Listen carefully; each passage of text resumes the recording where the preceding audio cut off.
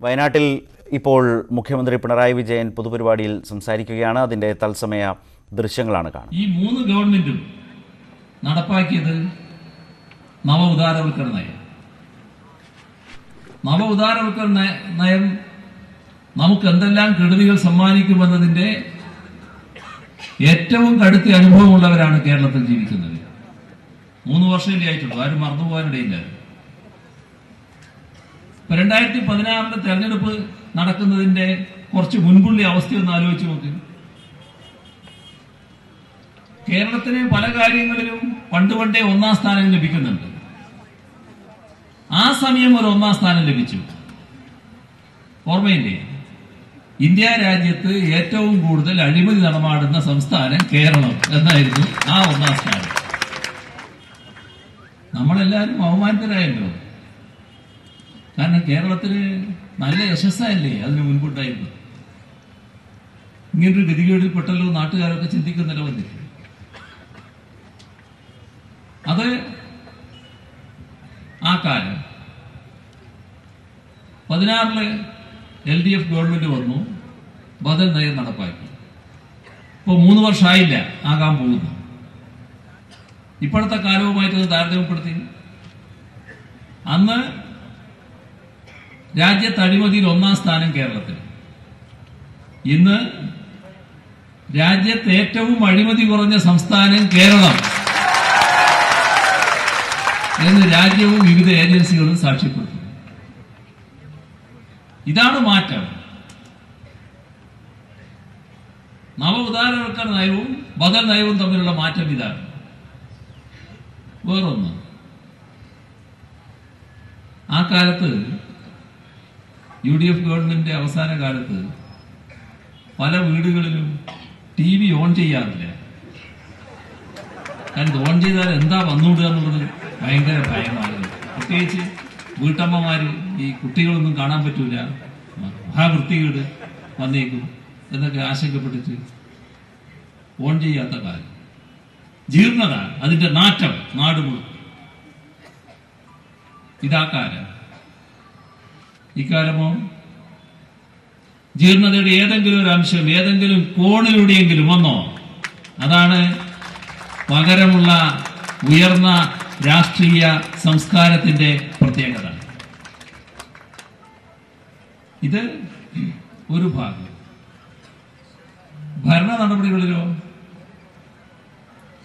ഭരണ നടപടികളിലും ഇത് തന്നെ കാണാൻ നമുക്ക് കഴിയും.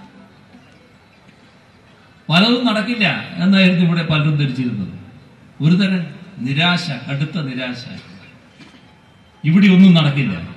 ഒന്നും നടത്താൻ അനുവദിക്കില്ല. എന്നൊക്കെയായിരുന്നു ആളുകളുടെ ചിന്ത. അങ്ങനെ ഒരു നിരാശ ഇങ്ങനെ വന്നുകൊണ്ടിരിക്കുകയാണ്.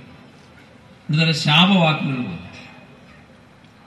ഇപ്പൊ അത് മാറിയില്ലേ?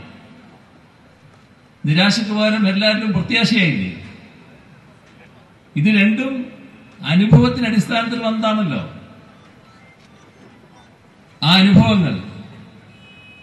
ഒന്ന് നാഷണൽ ഹൈവേ. അക്കാലത്ത് നാഷണൽ ഹൈവേ വരില്ല എന്നായിരുന്നു. എല്ലാവരുടെയും ചിന്ത. ഇപ്പൊ അങ്ങനെ ചിന്തിക്കുന്ന ആരെങ്കിലും ഉണ്ടോ? അത് ഉറപ്പായി വരും എന്ന് തന്നെ എല്ലാവരും കാണുന്നില്ലേ ഒരു ജലപാത നമ്മുടെ സ്വപ്നത്തിൽ ഉണ്ടായി ഒന്നായിരുന്നത്. അത് കോവളത്തും തുടങ്ങി കാസർഗോഡ് ബേക്കലിൽ പോയി അവസാനിക്കും. അറുന്നൂറ് കിലോമീറ്റർ ജലപാത. ഒരു സ്വപ്ന പദ്ധതിയായിട്ട് തന്നെ കഴിയായിരുന്നു പക്ഷെ. ഇപ്പോഴോ അടുത്ത വർഷം രണ്ടായിരത്തി ഇരുപതിൽ അത് പൂർത്തിയാകാൻ പോകുന്നു. ഒരു ഒരു ബോട്ടിൽ കോവളത്ത് നിന്ന് ബേക്കലെത്താൻ പറ്റും. ആ തരത്തിൽ റെഡിയാകാൻ പോകുന്നു. കേരളത്തിന് രണ്ടറ്റം. ഒന്ന് മലയോരം മറ്റൊന്ന് തീരദേശം. ഈ രണ്ടിടത്തും ഓരോ ഹൈവേ മലയോര ഹൈവേയും തീരദേശ ഹൈവേയും. സംസ്ഥാന സർക്കാർ പതിനായിരം കോടി രൂപയാണ് മാറ്റിവെച്ചിരിക്കുന്നത്. അത് സമയബന്ധിതമായി പൂർത്തിയാകാൻ പോവുകയാണ്. ഗെയിൽ പൈപ്പ് ലൈൻ നടക്കില്ല എന്നായിരുന്നു കരുതിയത്. തെരഞ്ഞെടുപ്പ് കഴിഞ്ഞാൽ യാഥാർത്ഥ്യമാകാൻ പോകുന്നു. കുടംകുളം പവർ ലൈൻ നാനൂറ് കെ ബി ലൈൻ വരേണ്ടതാണ്. സമ്പൂർണ വൈദ്യുതീകരണം നടപ്പാക്കിയ നാടാണ് നമ്മുടേത് നല്ല രീതിയിൽ വൈദ്യുതി നമുക്ക് ആവശ്യമുണ്ട്. നമുക്ക് ലഭിക്കേണ്ട വൈദ്യുതി ഈ ലൈൻ ഇല്ലാത്തതുകൊണ്ട് തടസ്സപ്പെട്ട് കിടക്കുകയാണ്. പക്ഷേ ലൈൻ പൂർത്തിയാക്കാൻ കഴിയില്ല എന്തായിരുന്ന അവസ്ഥ? ആ കരാർ ഏറ്റെടുത്ത ആ പവർ ഗ്രിഡ് കോർപ്പറേഷൻ ഇട്ടേച്ച് പോകുന്ന അവസ്ഥ തന്നെ വന്നു. ഇപ്പോഴോ? ഇപ്പൊ ഒരു ടവർ മാത്രമാണ് ബാക്കി. യഥാർത്ഥത്തിൽ ബാക്കിയല്ലത്. ഒരു സ്റ്റേ ഉണ്ട്. ആ സ്റ്റേ വെക്കേറ്റ് ചെയ്യാൻ കോടതിയുടെ മുമ്പിലാണ്. കോടതി വിധി പറയാൻ വെച്ചിരിക്കുകയാണ്. വിധി വന്നാൽ അതും തീർന്നു. ഇങ്ങനെ എത്രയെത്ര പദ്ധതികൾ? ഈ ബദൽ നയത്തിന്റെ കാര്യത്തിൽ ഈ പദ്ധതികൾ മാത്രമാണോ? നമ്മുടെ നാട്ടിലെ പാവപ്പെട്ട ആളുകൾ ക്ഷേമ പെൻഷൻ വാങ്ങുന്നത്. ആ ക്ഷേമ പെൻഷൻ വാങ്ങുന്നവർക്ക് ഈ ഗവൺമെന്റ് അധികാരത്തിൽ വരുമ്പോൾ അറുന്നൂറ് രൂപയായിരുന്നു പെൻഷൻ. ഇപ്പോഴോ?